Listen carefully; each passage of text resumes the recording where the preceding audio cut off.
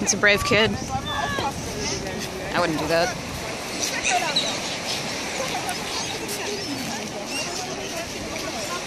Fucking beach swans. Fucking Poland, really. Look at this. Just, you know, surf swans.